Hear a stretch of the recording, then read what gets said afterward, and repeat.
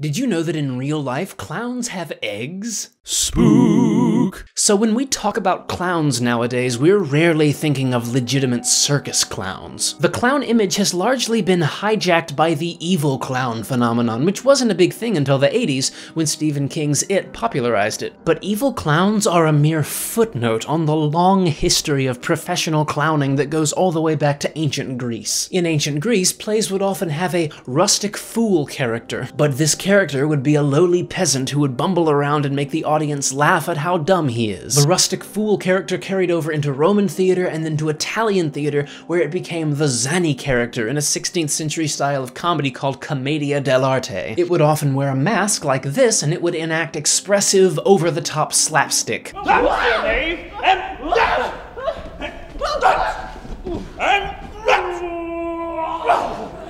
And when the English adopted this slapstick Zanni character, they called it a clown, which is an old English word that means dumb peasant. And you'd see it in Shakespeare plays and as the king's jester. And then in the 18th century, clowns were used to entertain the audience between acts of equestrian shows. And these equestrian shows started adding more animals besides horses and evolving into what we know as the circus. And that's where we get the modern circus clown, which, true to its ancient roots, is an exaggerated slapstick caricature of a homeless person. I mean, think about it. Shoes that are too big, baggy clothes, messy hair, a buffoonish nature, a red nose like someone who's drunk or out in the cold or something. The whole idea of a clown, and remember, clown means peasant, is predicated on the idea that people less fortunate than us are fools and therefore funny. But the modern circus clown, despite its classist roots, has evolved past that. Like when people see an actual circus clown nowadays, they don't sit there thinking, hee hee hee, I'm laughing at poor people. No, the modern clown is a respectable profession, and people train for years to learn the art of clowning, the art of slapstick, the art of making people laugh. And that is the true essence of the modern clown. And this is where the eggs come in, because every clown has a unique makeup design. No two clowns have the same face. So in Great Britain in the 40s, clowns would trademark their makeup designs by having them painted onto chicken eggs. And this carried over to America, and now there are museums of these clown eggs. There are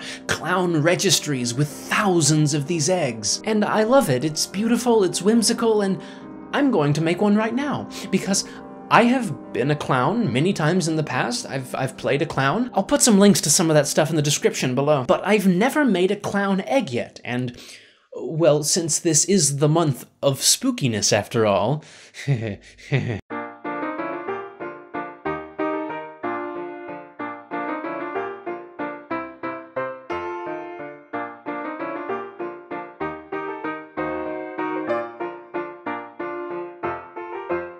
Look at the egg, now look at me. Now look back at the egg, now look back at me. Now I hope you're not coulrophobic because- ah! Good evening, ladies and germs. It's down to my tickle dungeon with you. I have to apologize for that.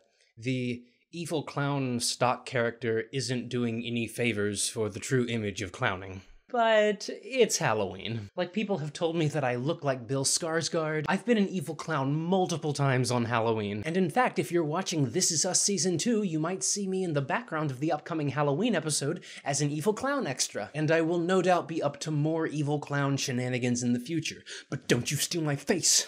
Because I have it on an egg. Thanks for watching. I'm vlogging about something spooky every weekend in October. I'm trying to get 666 subscribers by Halloween, and I'm only about 50 away, so share this video. Next week, I'm talking about the seance I just went to on Friday the 13th.